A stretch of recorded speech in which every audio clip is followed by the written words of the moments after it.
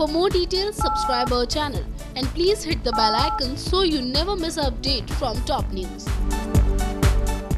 कार्तिक नायरा कायरा इन तीनों की ज़िंदगी कुछ ऐसे उलझ गई है कि उसका सुलझना कब तक पॉसिबल हो पाएगा हम नहीं जानते हम बात कर रहे हैं स्टार के शो ये रिश्ता क्या कहलाता है के बारे में जिस शो ने अपने 3000 एपिसोड्स तो सक्सेसफुली पूरे किए लेकिन सक्सेस के बाद जो शो में अब ट्रैक चल रहा है उस ट्रैक की वजह से ऐसा ना हो कि शो को कुछ बुरे दिन देखने पड़ जाएँ।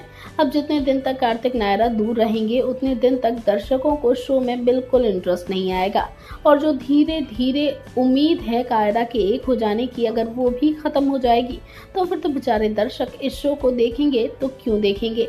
हम आपको बता देते हैं कि क्या है इस पर हमारी राय, जो अभी अभी हमने देखा है एक सीन दरअसल आने वाले टाइम में आप एक सीन देखेंगे, जिसमें वॉशरूम में कार्तिक, नायरा और कायरव तीनों कर रहे होंगे ब्रश यहाँ पर ब्रश करते करते कार्तिक को याद आ जाएँगी पुरानी बातें। तो भाई, नायरा कहाँ पीछे रहने वाली थी, उसे भी वो लम्हे याद आएँगे। जब कार्तिक, नायरा एक साथ कुछ ऐसे ही ऊट पटांग काम किया करते थे वेल इन मोमेंट्स को याद कर कर दोनों इमोशनल हो जाएँगे। नन्हा कायरव समझ नहीं पाएगा, वो तो चुपचाप रह जाएगा। अब इस सीन को देखकर क्या सोच रहे हैं आप, यही ना? कि कार्तिक नायरा धीरे धीरे हर एक छोटे छोटे लम्हे को याद कर कर दोबारा नज़दीक आ सकते हैं। दोस्तों, हम भी कुछ ऐसा ही सोच रहे हैं।